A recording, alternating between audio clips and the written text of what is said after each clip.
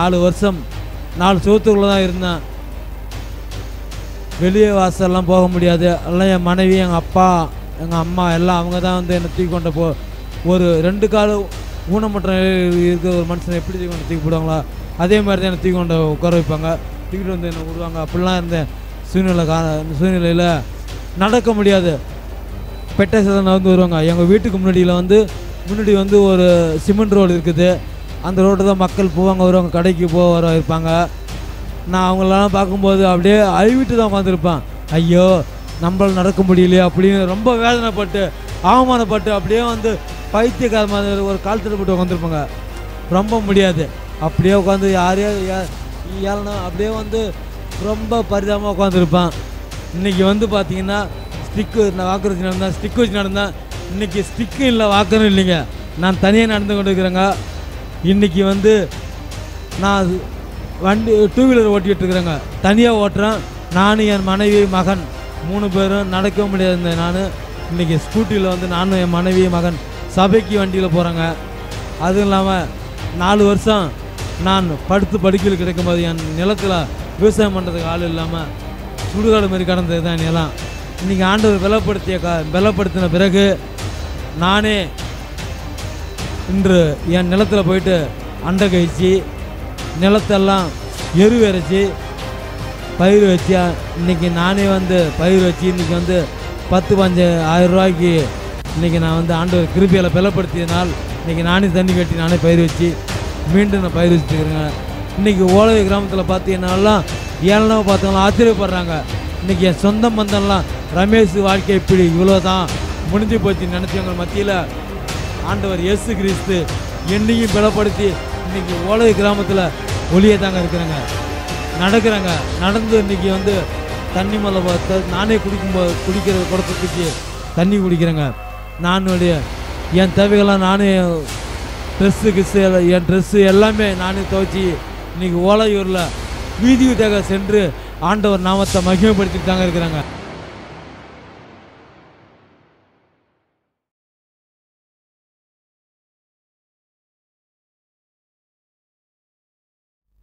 கிறிஸ்துவுக்குள் அன்பு சகோதர சகோதரிகளே நான் அரியலூர் மாவட்டம் ஓலதி கிராமம் என் பெயர் சீனிவாசன் ரமேஷ். ரமேஷ் சீனிவாசன் நான் மூன்று வருடம் பக்ரைன் அரபி நாட்டில் நான் பிளம்பிங் சூப்பர்வைசராக வேலை பார்த்தேன். மூன்று வருடம் தொடர்ந்து அங்கு இருந்தபோது மூன்று மூணாவது மூன்றாவது தடவை நான் வந்து மறுபடியும் நான் பக்ரைனுக்கு செல்லும்போது என் காலில் வலி ஏற்பட்டது. வலி ஏற்பட்டவுடன் இரண்டு மூன்று நாள் தொடர்ந்து வலித்து வலித்ததால் என்னால் நடக்க முடியவில்லை அங்கேயே. அதன் பிறகு ஒரு வாரம் ஒரு வாரம் கழித்து என் நெஞ்சில் என் நெஞ்சில் வலி வந்தது. அந்த காலில் வந்த வெளி நெஞ்சிலும் வந்தது. என்னால் துயரம் அந்த வலியில் தாங்க முடியவில்லை. நான் ரொம்பவும் பயந்து அங்கேயே என்ன செய்யலாம் என்று வேதனையோடு இருக்கும் சமயத்தில் எனது எனது கம்பெனி முதலாளியுடன் முதலாளி என்னோட எனக்கு காலில் வலி ஏற்பட்டு ஏற்பட்டிருக்கிறது நெஞ்சியும் வலிக்கிறது. நான் ஊருக்கு செல்ல தயாராக எனக்கு ரொம்ப முடியவில்லை. எனக்கு என் உயிரே எனக்கு ரொம்ப எனக்கு கஷ்டமாக இருக்கிறது உயிர் போய்விடும் என்ற கஷ்டத்தில் இருக்கிறேன். நான் எனக்கு ஊருக்கு செல்லத்தை எனக்கு அனுப்பிவிடுங்க என்று என் முதலாளியிடம் சொன்னேன். அவர் என்ன சொன்னார்? அங்கே இருக்கிற ஜிஹெச்சியில் ஜிஹெச்சில் நீ சென்று பார்த்து விட்டு அப்புறம் நீ போகலாம் என்று சொன்னார். அப்படியே அங்கே பக்ரைனில் உள்ள ஜிஹெச்சில் நான் சென்று காண்பித்த போது அங்கே உள்ள மருத்துவருக்கு என்னவென்று தெரியவில்லை. மீண்டும் எனக்கு நடக்க முடியாமல் ரொம்ப அவதிப்பட்டேன். அவதிப்பட்டிருக்கும்போது எனக்கு டிக்கெட் ரெடியாகி நான் சென்னை ஏர்போர்ட் வரும்போது எனது உற்றவர்கள் எல்லாம் வந்துட்டாங்க. வந்த உடனே அங்கேயே நான் ஏர்போர்ட்டில் வரும்போது எனக்கு நடக்க முடியாத சூழ்நிலையில் ஒரு ஸ்டிக் வச்சு தான் பக்ரைனிலேருந்து நான் சென்னை வர முடிந்தது. நடக்க முடியாத சூழ்நிலை தான் இருந்தேன் ஒரு ஸ்டிக் வச்சு தான் வந்தேன். இங்கே வந்தவர் எனது அப்பா அம்மா வந்து என்ன சென்னை ஏர்போர்ட்டில் வந்து என்னை அழைத்து வீட்டுக்கு ஓலையூர் கிராமத்துக்கு அழைத்து வந்தார்கள். ஒரு வாரம் கழித்து நான் விருத்தாச்சலம்ங்கிற ஒரு தனியார் மருத்துவமனையில் எனக்கு சென்று காண்பிக்கும்போது என் காலில் வலி மீன் நடக்க முடியாமல் ரொம்ப வேதனைப்பட்டு அவதிப்படும் சூழ்நிலையில் விருத்தானம் சென்று ஒரு தனியார் மருத்துவ மருத்துவரிடம் காண்பிக்கும்போது காலில் கேன்சர் கட்டி காலில் காலை கட் செய்த செய்ய வேண்டும் என்று மருத்துவர் எனக்கு சொன்னார் சொல்லிவிட்டார். ரொம்பவும் மனவேதனை அடைந்தேன். அப்பா அம்மா ஊற்றவங்க எல்லாம் நம்ம பையனுக்கு இது மாதிரி ஆக்கிவிட்டது என்று என் குடும்பமே தண்ணி கண்ணீரில் மூழ்கி ரொம்ப இருட்டில் தத்தளிப்பது போல் நாங்கள் என் குடும்ப முழு குடும்பமும் ரொம்ப வேதனைப்பட்ட பட்டிருந்தோம். மறுபடியும் காண்பிக்கும்போது காலில் கட்டி இருக்குது ஆப்ரேஷன் செய்ய வேண்டும் என்று டாக்டர் சொன்னார். காலில் ஆப்ரேஷன் செய்தவுடன் தையல் போட காரணத்தால் காலில் சீ பிடித்து காலில் புழி வைத்து விட்டது. கேன்சர் என்று சொன்ன அந்த மருத்துவர் காலில் கட் பண்ண என்று சொ- சொன்னார்.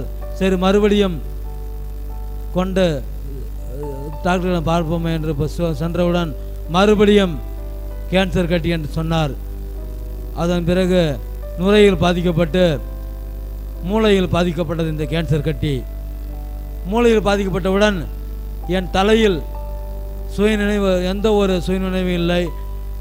எனக்கு பேச்சு வரவில்லை.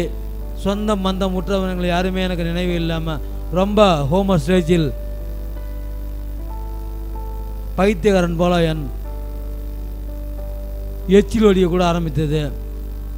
ரொம்ப சுயநலற்று இருந்தபோது திருச்சியில் உள்ள தனியார் மருத்துவமனைகள் என் தலையில் ஆப்ரேஷன் செய்ய சொன்னார்கள். அங்கு சென்று என் தலையில் ஆப்ரேஷன் செய்தேன். செய்தவுடன் ஒரு வருஷம் ஒரு மாதம் ஹோம ஸ்டேஜில் அரிசி வாழ் இருக்கும்போது ரமேஷ் செத்து விட்டான். ஓலை கிராமத்தில் செய்தி வந்துவிட்டது. அங்கு உற்றவர்கள் எல்லாம் பந்தல் போட்டு எல்லாம் கட்டெல்லாம் கூப்பிட்டாங்க.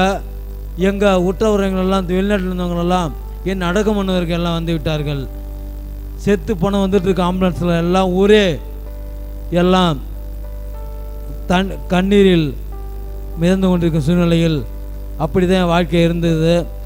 இந்த தலையில் ஆபரேஷன் பண்ண உடனே இந்த இடது கை காலில் எனக்கு வராமல் உணர்ச்சியற்ற நிலையில் கைகள் வராமல் போய்விட்டது. நான்கு வருடம் படுத்த படுக்கையில் தான் இருந்தேன். என் வாழ்க்கை நான்கு சுவருக்குள்ளே தான் என் வாழ்க்கை இருந்தது. இந்த கைகாலில் எந்த ஒரு வழியும் எந்த ஒரு உணர்ச்சியற்ற சூழ்நிலையில் தான் நான் நான்கு வருடம் இருந்தேன். இயற்கை உபாதை எந்த ஒரு யூரின் எல்லாமே நான் என் நான் தனிமையில் போக முடியாது.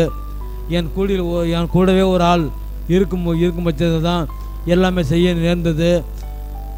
ரொம்ப உணர்ச்சியற்ற நிலையில் தான் என் கை கால் ரெண்டுமே கை இடது கை இடது கை கால் இருந்தது. நான் போகாத டாக்டர் இல்லை. இங்கேருந்து கடலூர் வேலூர்.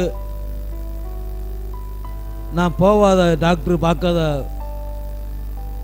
மருத்துவரே இல்லை. நான் போகாத கோயிலுங்க இல்லைங்க. ஏன்னா அந்த தெய்வத்தில் போனால் சரியாயிடும் இங்கே போனால் அங்கே போனால் சரியாயிடுன்ட்டு நிறைய மரு பார்க்காத மருத்துவரும் இல்லை. நான் போகாத கோயிலும் இல்லை. அப்படிலாம் எனக்கு திரும்ப வந்து நடப்பேன். எனக்கு கால் சரியாயிட்டு எத்தனை தெய்வத்தை எங்கள் அப்பா அம்மா என் சொந்த மந்தம் எல்லாமே. எல்லாமே வேண்டி பார்த்தோம். நாலு வருஷங்க. எந்த ஒரு மாற்றமும் என் உடல்நிலையில் கிடைக்கல. நாலு வருஷம். வேண்டாத தெய்வம் இல்லை. போகாத மருத்துவர் இல்லை. எந்த ஒரு ஹாஸ்பிட்டலுக்கு போய் எல்லாம் போகாத ஹாஸ்பிட்டலே கிடையாதுங்க. நான் சாப்பிட்ட மாத்திரைகள்லாம் பார்த்தீங்கன்னா ஏராளம் ஏராளம். அப்படிலாம் என் வாழ்க்கை இருந்தது. நாலு வருஷம் நாலு சுகத்துக்குள்ளே தான் இருந்தேன். வெளியே வாசல்லாம் போக முடியாது. எல்லாம் என் மனைவி எங்கள் அப்பா எங்கள் அம்மா எல்லாம் அவங்க தான் வந்து என்னை தூக்கி கொண்ட போ ஒரு ரெண்டு கால ஊனமற்ற நிலையில் இருக்கிற ஒரு மனுஷனை எப்படி தூக்கி கொண்டு தூக்கி போடுவாங்களா? அதே மாதிரி தான் என்னை தூக்கி கொண்டு உட்கார வைப்பாங்க. தூக்கிட்டு வந்து என்னை விடுவாங்க. அப்படிலாம் இருந்தேன். சூழ்நிலை கா சூழ்நிலையில் நடக்க முடியாது. பெட்டை சேதம் நடந்து வருவாங்க. எங்கள் வீட்டுக்கு முன்னாடியில் வந்து முன்னாடி வந்து ஒரு சிமெண்ட் ரோடு இருக்குது. அந்த ரோடு தான் மக்கள் போவாங்க வருவாங்க கடைக்கு போக வர இருப்பாங்க நான் அவங்களெல்லாம் பார்க்கும்போது அப்படியே அழுவிட்டு தான் உட்காந்துருப்பேன். ஐயோ நம்மளால் நடக்க முடியலையே அப்படின்னு ரொம்ப வேதனைப்பட்டு அவமானப்பட்டு அப்படியே வந்து பைத்தியக்கார மாதிரி ஒரு காலத்தில் போட்டு உட்காந்துருப்பாங்க. ரொம்ப முடியாது. அப்படியே உட்காந்து யாரையோ ஏ- ஏழனோ அப்படியே வந்து ரொம்ப பரிதாபமாக உட்காந்துருப்பான் இந்த சூழ்நிலை தான் எங்கள் ஓலையூர் கிராம எங்கள் கிராமத்தில் ஓலையூர் என்ற கிராமத்தில் அன்பு சகோதரி ஒருத்தவங்க ஏற்கனவே ஆண்டவர் இயேசு கிறிஸ்துவ மூலமாக ரட்சிக்கப்பட்டிருக்கிறாங்க. அவங்க பெ பெற்ற சுகத்தெல்லாம் என்கிட்ட வந்து சொல்லி எனக்காக அவங்க ஜெபம் பண்ணிருக்கிறாங்க. அந்த சகோதரி மூலமாக ஆண்டவர் வந்து அந்த சகோதரி மூலமாக பேசி ஒரு நாள் நான் ரொம்ப முடிய சூழ்நிலையில் அப்படியே என் வீட்டு வாசலில் அப்படியே படுத்து பிணமாக கிடக்கு கிடந்த மாதிரி ரொம்ப அப்படியே பைத்து படுத்துருக்கிறேன் படுத்து இருந்திருக்கிறேன் எனக்கு தெரியாது எந்த ஒரு உணர்ச்சியற்ற நிலையில் எந்த ஒரு உணர்வே இல்லாமல் ரொம்ப முடிய சூழ்நிலை படுத்திருக்கும் போது அன்பு சகோதரி வந்து என்னை வந்து மாமா மாமான்னு என்னை கூப்பிட்டாங்க. யாரை நம்மளை கூப்பிடுதுன்னு ஏஞ்சி ஏந்திர முடியலன்ட்டு அப்படியே அந்த சகோதரி வந்து எனக்கு கையை கொடுத்து என்னை தூக்கி உட்கார வச்சாங்க. என்னன்னு கேட்டாங்கள? அவங்க வந்து எனக்கு ஜெபம் பண்ணாங்க ஒரு நாள். ஜெபம் பண்ணிட்டு என்னம்மா இது? அப்படின்னு கேட்டான். என்னம்மா போம்மா. எங்கள் ஆண்ட எங்கள் எங்கள் எங்கள் எங்கள் தெய்வத்தை எங்கள் எங்கள் குலதெய்வம் விட்டு வர முடியாது. போங்க. நான் எங்கள் சாமி ஊரில் எங்கள் கும்பிட்டுக்க நீ போங்க அப்படின்னு சொன்னேன். அவங்க என்ன சொன்னாங்க? மாமா நீங்கள் எத்தனை தெய்வத்தை கும்பிட்டுருக்கலாம். எத்தனையோ டாக்டரை பார்த்துருக்கலாம். நீங்கள் ஆண்டவர் இயேசுவை நம்பி வாங்க. நீங்கள் இந்த ஓலை கிராமத்தில் நல்லா நடப்பீங்க. இந்த கால் கைகளாக உங்களுக்கு உணர்ச்சி கிடை உணர்ச்சி கிடைக்கும். இந்த ஓலையில் நீங்கள் ஒளியாக இருப்பீங்க. ஒளியாக இருப்பீங்கன்னு அந்த அன்பு சகோதரி சொன்னாங்க.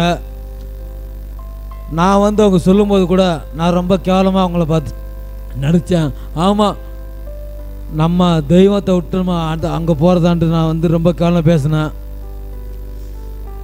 அதன் பிறகு நீங்கள் நம்பி வாங்க மாமா. ஆண்டவர் இயேசு உங்களை பலப்படுத்த போகிறாரு இந்த ஓலையில் ஒளியாக இருக்க போறீங்கன்னு சொன்னாங்க. அது நம்பி நம்பி நான் என் மனைவியும் ஒரே நாளில் திருமணம் பண்ணணும். மறு வாரம் ஞாயிற்றுக்கிழமையே நானும் என் மனைவியும் எத்தனையோ தெய்வத்தை நம்ம வணங்கணும். எத்தனையோ டாக்டரை போய் பார்த்தோம். ஒன்றும் முடியலன்னு சொல்லிட்டாங்க. காலில் ஆப்ரேஷன் பண்ண நடப்பேன்னு சொல்லிட்டாங்க. இனிமேல் நம்ம என்ன பண்ண போகிறோம் வாக்கியம் முடிஞ்சு போச்சு என்ற சூழ்நிலையில் அந்த பொ- பொ- சகோதரன் சொல்லிருக்கிறாங்க அந்த தெய்வத்தை நம்பி போவோம். ஆண்டவர் இயேசு சொல்கிறாங்க நம்ம இருவரும் போயிட்டு ஆண்டவர்கிட்ட ஒரு நாளைக்கு போய் தான் பார்ப்போன்ட்டு. அந்த வாரம் ஞாயிற்றுக்கிழமையே நானும் என் மனைவியும் கரிவேப்பிலங்குட்டியில் இருக்கின்ற ஆசீர்வாத வாயு சபைக்கு நானும் என் மனைவியும் நடக்க முடியாத சூழ்நிலையில் என் மனைவி என்னை தாங்கி பிடித்து கொண்டு ஆசீர்வாத வாயு சபைக்கு சென்று சென்றடைந்தோம். அங்கு போகும்போது நான் கால் சட்டை அணிந்துதான் அந்த வாரம் என் மனைவியனை இன்று ஒரு நபர் என்னை தூக்கி கொண்டு அந்த சபையில் என்னை உட்கார வைத்தார்கள். அப்படியே என்னை படுக்க வைத்தாங்க. படுக்க வைத்து படுக்க வைத்து அப்படியே படுத்து படுத்துட்டேன். அந்த சபையில் வந்து எனக்கு இரண்டு மணி நேரம் எனக்கு நல்லா ஜெபம் பண்ணி எல்லா சத்தியத்தை வெளிப்படுத்துனாங்க. எனக்கு அப்படியே வந்து ரொம்ப மடக்க நிலையில் படுத்திருந்த நான் அந்த சபையில் அந்த இரண்டு மணி நேரத்துக்குள் நான் எழுந்து எழுந்து உட்கார்ந்தேன். அப்பொழுதே என் மனைவிக்கு நம்பிக்கை வந்தது. என்னடா நாலு வருஷமாக நமது நமது புரு கணவன் தனிமையாக ஏஞ்சி நான் உட்கார மாட்டார். இன்னைக்கு வந்து சபைக்கு போன உடனே ஏஞ்சி உட்கார்றாருன்னு சொல்லிட்டு என் நம்பிக்கை என் மனைவிக்கு நம்பிக்கை வந்தது. அன்றே நாங்கள் இருவரும் ஒரு தீர்மானம் செய்தோம். நம்ம ஆண்டவர் நம்ம ஆண்டவர் இயேசு கிறிஸ்து நம்ம குலதெய்வம் ஏற்றுக்கொள்ள வேண்டும் என்று நான் என் மனைவியும் அன்றே நாங்கள் தீர்மானம் செய்தோம். அன்று அன்று வாரமே டிசம்பர் முப்பதாம் தேதி ரெண்டாயிரத்தி பதினெட்டு நான் என் மனைவியும் ஆண்டவரை என் உ- என் கு- லட்ச- ர- ரட்சிகராக நான் என் மனைவியும் ஏற்றுக்கொண்டோம். ஏற்றுக்கொண்ட பிறகு அந்த ரெண்டாயிரத்தி பதினெட்டு டிசம்பர் முப்பது முப்பதாம் தேதி ஏற்றுக்கொண்ட பிறகு நான்கு வருடமாக இல்லாத என் சரீரத்தில் உள்ள பலவீனங்கள் எல்லாம் கொஞ்சம் கொஞ்சமாக என் சரீரத்தில் கொஞ்சம் பலவீனங்க பல பலங்க பல பலம் தெரிய வந்தது. சரீரத்தில் மாற்றம் ஏற்பட்டது. சரீரத்தில் மாற்றம் ஏற்பட்டது. ஏந்திர நடக்க ஏந்திர நிற்கவே முடியாதுங்க. ஆண்டவர் ஏற்றுக்கொண்ட நாளில் ஒவ்வொரு மாதமாக ஒவ்வொரு நாளாக எனக்கு என் சரீரத்தில் பலன் உண்டாகியது. நடக்கவே முடியாது. இந்த காலில் உணர்ச்சியே இல்லை. காலில் கையில் உணர்ச்சி இல்லாமல் சூழ்நிலை தான் இருந்தேங்க. நான் ஆண்டவர் ஏற்றுக்கொண்ட பிறகு ஒரு மாதத்தில் என் சரீரத்தில் ஒரு மாற்றத்தை எனக்கு இது மாற்றம் தெரிந்தது. கைகளில் உணர்ச்சியற்ற நிலையில் இருந்தன. எனக்கு என் காலில் கையில் எனக்கு உணர்வு வந்தது. அப்போ இது வாக்கர் எனக்கு வாக்கரை வைத்து நட என்று சொன்னார்கள். அப்போ இது அந்த வாக்கரை எடுத்து நான் பிடித்து பார்த்தேன். என் கையில் பலன் கிடைத்தது. என் காலில் அந்த பலன் நிற்பதற்கு அந்த பலன் எனக்கு கிடைத்தது. அப்போ இது நான் வந்து நடக்க முடியாத படுத்து கிடைக்கல இருந்த நான் நாலு வருஷமாக படுத்து கிட- படுக்கையில் கிடந்த எனக்கு ஆண்டவரை ஏற்றுக்கொண்ட பிறகு எனக்கு ஒரு மாதத்தில் எனக்கு கை காலில் எனக்கு உணர்வு வந்தது. நான் வாக்கரை வைத்து நடக்க ஆரம்பித்தேன். கொஞ்சம் கொஞ்சமாக இயற்கை உபாதைக்கு செல்ல முடியாமல் சூழ்நிலையில் இருந்த நான் ஆண்டவர் என்னை ஏற்றுக்கொண்ட பிறகு அந்த ஒரு மாதத்தில் வாக்கரை வைத்து நான் இயற்கை உபாதைக்கு நான் கொஞ்சம் கொஞ்சமாக அந்த கொஞ்சம் கொஞ்சமாக நடந்து நடக்க ஆரம்பித்தேன். அந்த வாக்கரை வைத்து நான் பேருந்தில் ஏற முடிய சூழ்நிலை இருந்தபோது பேருந்தில் அந்த வாக்கரை வைத்து ஏற எனக்கு ஆண்டவருக்கு பிளத்தை கொடுத்தார். அதன் பிறகு நான் கொஞ்ச தூரம் நடப்பேன் அப்புறம் ஒரு கிலோமீட்டர் அப்புறம் அரை கிலோமீட்டர் இப்படியே எனக்கு ஆண்டவர் கொஞ்சம் கொஞ்சமாக எனக்கு பிளத்தை கொடுத்த போது வாக்கரை வைத்து நடந்து கொஞ்சம் ஸ்பீடாக நடக்க ஆரம்பித்தேன். கொஞ்சம் கொஞ்சமாக எனக்கு கொடுக்கும்போது அந்த வாக்கரை வைத்து ஸ்பீடாக நடக்க ஆரம்பித்தேன். ஒரு ரெண்டு மூன்று மாதம் வாக்கரை வைத்து நடக்க ஆரம்பித்தேன். அப்போ இது எனக்கு மீண்டும் ஆண்டவர் எனக்கு மீண்டும் அவர் பலத்தை கொடுத்தா கொடுத்தார். ஒரு ஸ்டிக்கை வைத்து கொஞ்சம் கொஞ்சமாக நடக்க ஆரம்பித்தேன். அதன் பிறகு அந்த ஸ்டிக்கை வைத்து கொஞ்சம் ஸ்பீடாக பிக்கப் பண்ண ஆரம்பித்தேன். ஆனால் ஒவ்வொரு நாளும் ஆண்டவர் எனக்கு வந்து நான் ஒவ்வொரு வாரமும் ஆண்டவர் ஏற்றுக்கொண்ட பிறகு நானும் என் மனைவி வெள்ளிக்கிழமை ஞாயிற்றுக்கிழமை நாங்கள் சபைக்கு எந்த சூழ்நிலையும் கூட போகாமல் இருந்தது இல்லைங்க. ஏனென்றால் எங்களுக்கு வந்து தெரிஞ்சுக்கிட்டோம் என்னடா நாலு வருஷமாக நடக்க முடியாமல் கிடந்த நமக்கு கைகள் உணர்வில் நமக்கு அந்த சபைக்கு ஆண்டவர் ஏற்றுக்கிட்ட பிறகு நமக்கு இத்தனை மாற்றங்கள். என்னடா நம்ம இத்தனை வருஷம் நம்ம வந்து இப்படி இருந்தால் சபைக்கு போன பிறகு நமக்கு நல்ல ஒரு மாற்றம் தெரிந்து போயிட்டா? தெரிஞ்சிச்சேன்ட்டு நானும் என் மனைவியும் சபைக்கு வாரம் வாரம் வெள்ளிக்கிழமை ஞாயிற்றுக்கிழமை எந்த சூழ்நிலை இருந்தாலும் நானும் என் மனைவியும் சபைக்கு போயிடுங்க சபைக்கு போன போக போகத்தான் மருந்து மாத்திரைலாம் வந்து சாப்பிட்டு இருந்தாங்க. நாலு வருஷம் சாப்பிட்டு இருந்தேன். அந்த மருந்து மாத்திரை இல்லைங்க. நாலு வருஷம் மருந்து பா- சாப்பிட்ட மருந்து மாத்திரை ஆண்டவர் ஏற்றுக்கொண்ட ஒரு ரெண்டு மூணு மாதத்தில் ஒரு நாளைக்கு குறைந்தபட்சம் இருபத்தஞ்சி மாத்திரை சாப்பிட சாப்பிடணுங்க கட்டாயம். ஆண்டவரை ஏற்றுக்கொண்ட ரெண்டு மூணு மாதத்தில் அந்த இருபத்தஞ்சி மாத்திரை காண நம்ம போன இடமே தெரியலிங்க. அந்த ம- மருந்து மாத்திரம் தூக்கி போட்டாச்சுங்க. ஏன் என்று சொன்னால் என் சரீரத்தில் பலவீன பலவீனங்கள்லாம் மறைந்தது. மாத்திரையே இவங்களுக்கு வேண்டாம். நமக்கு வந்து ஆண்டவர் இயேசு கொடுத்த சுகம் பரவாயில்ல. எத்தனையோ தெய்வத்துக்கு போனோம் எத்தனையோ டாக்டர்லாம் போனோம் இந்த பலன் கிடைக்கல. ஆண்டவர் இயேசுல போட்டு நமக்கு அது சரீரத்தில் பலன் கிடச்சிச்சு. நம்ம வந்து நடக்க முடியாது நடக்கிறோம் இன்றைக்கி ஸ்டிக் வச்சு நடக்கிறோம். வாக்கு வச்சு நடக்கிறோம். இனி நமக்கு அந்த மாத்திரை தேவையில்லை என்று நானும் என் மனைவி தீர்மானம் பண்ணினோம். ஆண்டவர் சேவம் பண்ணும்போது ஏசப்பா இந்த மாத்திரையை தூக்கி போடுகிற ஆண்டவரே எங்களுக்கு நீங்கள் தான் அந்த மருந்து மாத்திரை இல்லை என்று ஆண்டவர் ஜெபம் பண்ணி அந்த மருந்து மாத்திரை தூக்கி போட்டங்க போட்டங்க. இன்றைக்கி மருந்து மாத்திரை எதுவுமே இல்லைங்க. ஆனால் டாக்டர் சொன்னார் உன் காலில் ஆப்ரேஷன் செய்த நடப்புன்னு சொன்னாங்க. ஆண்டவரை ஏற்று எடுத்துக்கொண்ட நாள்லேருந்து மருந்து மாத்திரை இல்லைங்க. காலில் ஆப்ரேஷன் இல்லைங்க. இன்றைக்கி வந்து பார்த்தீங்கன்னா ஸ்டிக்கு வாக்கு வச்சு நடந்தேன் ஸ்டிக் வச்சு நடந்தேன் இன்றைக்கி ஸ்டிக்கும் இல்லை வாக்கரும் இல்லைங்க. நான் தனியாக நடந்து கொண்டு இருக்கிறேங்க இன்றைக்கி வந்து நான் வண்டி டூ வீலர் ஓட்டிகிட்டு இருக்கிறேங்க தனியாக ஓட்டுறேன். நானும் என் மனைவி மகன் மூணு பேரும் நடக்க இருந்தேன் நான். இன்றைக்கி ஸ்கூட்டியில் வந்து நானும் என் மனைவி மகன் சபைக்கு வண்டியில் போகிறாங்க அதுவும் இல்லாமல் நாலு வருஷம் நான் படுத்து படுக்கையில் கிடைக்கும்போது என் நிலத்தில் விவசாயம் பண்ணுறதுக்கு ஆள் இல்லாமல் சுடுகாடு மாதிரி கடந்தது தான் நிலம். இன்றைக்கி ஆண்டவர் பலப்படுத்திய க பலப்படுத்தின பிறகு நானே இன்று என் நிலத்தில் போயிட்டு அண்டை கழிச்சு நிலத்தெல்லாம் எரு இறைச்சி பயிர் வச்சு இன்றைக்கி நானே வந்து பயிர் வச்சு இன்றைக்கி வந்து பத்து பஞ்சு ஆயிரம் ரூபாய்க்கு இன்றைக்கி நான் வந்து ஆண்டவர் கிருபியில் பலப்படுத்தியதனால் இன்றைக்கி நானே தண்ணி கட்டி நானே பயிர் வச்சு மீண்டும் நான் பயிர் வச்சுருக்கிறேங்க இன்றைக்கி ஓலவை கிராமத்தில் பார்த்தீங்கன்னாலாம் ஏழனவை பார்த்தவங்களாம் ஆச்சரியப்படுறாங்க. இன்றைக்கி என் சொந்த பந்தம்லாம் ரமேஷ் வாழ்க்கை இப்படி இவ்வளோ தான் முடிஞ்சு போச்சு நினச்சவங்க மத்தியில் ஆண்டவர் இயேசு கிறிஸ்து என்னையும் பலப்படுத்தி இன்றைக்கி ஓலவை கிராமத்தில் என் அன்பு சகோதரி சொன்னது போல் ஓலவை கிராமத்தில் ஒளியேற்பன்னு சொன்னாங்க. அதே மாதிரியே இன்னைக்கு ஓலவை கிராமத்தில் ஒளியே தாங்க இருக்கிறாங்க. நடக்கிறாங்க. நடந்து இன்னைக்கு வந்து தண்ணி மலை பார்த்த நானே குடிக்கும் குடிக்கிற குடத்தை தூக்கி தண்ணி குடிக்கிறேங்க.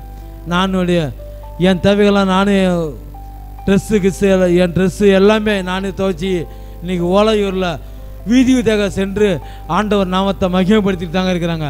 அநேகத்து அநேக பேர் வந்து இயேசு கிறிஸ்து போனால் இன்னைக்கு பரவாயில்ல ரமேஷ் நடக்கிறான்டா. இப்படிலாம் இருந்தால் இன்றைக்கி அவன் வாழ்க்கையை பாடுறா. இன்னைக்கு நல்லா இருக்கு. இன்னைக்கு வண்டி ஓட்டுறான். இன்னைக்கு வந்து கொல்லையில் போய் தண்ணி கட்டுறான்.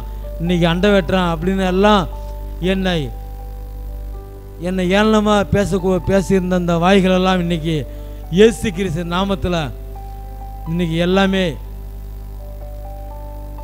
இன்னைக்கு என்ன? பரவாயில்ல. இயேசு கிறிஸ்து பரவாயில்ல. உண்மையான தெய்வம் ஆண்டவர் இயேசு தான் அவன் த- அவன் அவன் வணங்கின தெய்வம் தான் நல்ல தெய்வம். செத்து போன பணம் வந்துருச்சுன்னு சொன்னாங்க. இந்த ஓலையிற ஆகணும் இன்னைக்கு ரமேஷ் நடக்கிறான் நன்றி நடப்பான். இன்னைக்கு வண்டி ஓட்டுறான் நினச்சி கூட பார்க்கல. இன்னைக்கு ஊரே இன்னைக்கு. இன்னைக்கு விவேக மண்டமாக ஆண்டவர் என்னை உயர்த்தி உயர்த்திட்டாருங்க. அதுபோல் இன்னைக்கு ஓலையூரில் நான் எங்கே போனாலும் என் சுற்றி கிராமத்துலலாம் கையூ இன்னைக்கு ஓலையூரில் கணபதி குறிச்சி சுற்றி கிராமம் கணபதி குறிச்சி வண்ணாங்குடி காடு புத்தூர் கண பெலாந்துறை வெண்கருமுறை அநேக கிராமத்தில் வந்து பார்த்தீங்கன்னா என்ன நிறைய பேர் என் நான் இருந்த இடமெல்லாம் தெரியும். இன்றைக்கி அநேக பேர் என்னை பார்த்து ஆச்சரியப்படுறாங்க இன்றைக்கி பரவாயில்லடா செத்து போயிட்டான்னு சொன்னாங்க ரமேஷ் நீ எப்பட்றா நீ நடக்கிற அப்படின்னு வேக்கவண்ணமாக நீ கேட்குறேன் ஆண்டவர் இயேசு கிரீஸ்த போனோம் இன்றைக்கி ஆண்டவர் என்னை பலப்படுத்தியிருக்காரு. இன்னும் வண்டி ஓட்டுறதுனாலாம் ஆத்திரப்பட ஒன்றுமாக இன்றைக்கி ஆண்டவர் என்னை உயர்த்திருக்கிறாரு இன்னும் என்னை உயர்த்திக்கிட்டு தாங்க இருக்காரு. இன்றைக்கி யார் தாய்மையும் தேவை இல்லாமல் தான் நான் இன்றைக்கி சபைக்கு நான் வண்டியில் போயிட்டுருக்கேன் வந்துட்டுருக்கிறேன் நானும் என் மனைவி ஆண்டவர் ஏற்றுக்கிட்ட நாள்லேருந்து என் மனைவிக்கு இன்றைக்கி ஒரு தனியார் பள்ளியில் வந்து தலைமை ஆசிரியர் இருக்கிறாங்க. இன்றைக்கி எனக்கு இன்றைக்கி வந்து நல்ல எந்த குறையும் இல்லாமல் யார் தாய்மையும் இல்லாமல் ஆண்டவர் இயேசு கிறிஸ்துக்கு தலைவால தான் இன்றைக்கி எல்லாமே தனிமையில் நடக்கிறது வண்டி ஓட்டுறேன். இன்றைக்கி வந்து என் வருமானத்தையும் வர்த்திக்கு பண்ணிருக்காரு இன்றைக்கி ஓலதை கிராமத்தில் வந்து இன்றைக்கி எந்த இடத்துல நான் அவமானப்பட்டேன்னு தலை குனிந்து அந்த இடத்துல தலைமையில் வைத்திருக்காரு. ஆனால் அப்படிப்பட்ட தெய்வத்துக்கு என் வாய்நாள் ஃபுல்லாக நான் அவருக்கு ஊழியம் செய்திருக்கிறேன். கட ஊழியம் செய்ய கடமைப்பட்டிருக்கிறேன். நான் என் உயிர்நாள் உள்ள அவருக்கு சாட்சியாக வாழ்வதற்கு கடமைப்பட்டிருக்கிறேன். என் அருமை சகோதர சகோதரிகளே என் சாட்சி உண்மை. நீங்கள் எல்லோரும் எனக்கு நடந்த அற்புதம் உங்கள் வாழ்க்கையில் நடக்கணும். எந்த ஒரு நோயாக இருந்தாலும் நீங்கள் ஆண்டவர் இயேசுவை உங்கள் ரட்சிகராக ஏற்றுக்கொள்ளுங்கள். உங்கள் வாழ்க்கையில் அற்புதம் நடக்கும். நானும் சொந்தங்களால் பந்தங்களால் தள்ளப்பட்டவன் தான். தான் இன்றைக்கி வந்து ஆண்டவர் என்னை உயர்த்தி ஸ்திரப்படுத்தி இன்றைக்கி என்னையே ஒரு மனிதனாக இந்த ஓலை கிராமத்தை நிலைநிறுத்தும் என்று சொன்னால் அந்த வாழ்க்கை அந்த வாய்ப்பு அந்த அற்புதம் உங்கள் வாழ்க்கையில் நடக்கும். எனக்கு ஆண்டவர் நல்ல ஒரு வாழ்க்கையை கொடுத்துருக்கிறார். உங்களுக்கும் அந்த வாய்ப்பு வாழ்க்கை வர வேண்டும். இன்னும் என் ஆண்டவர் இப்போ உயர்த்தி கொண்டு தான் இருக்கிறார். ஆண்டவருக்கு கொடான கொடி சோத்திரம். எனக்கு வாய்ப்பளித்த எனது ஆசீர்வாத வாயு சபை பாஸ்டர் ஐயா அவர்களுக்கு எனது நன்றியை தெரிவித்துக்கொண்டு விடைபெறுகிறேன். நன்றி வணக்கம்.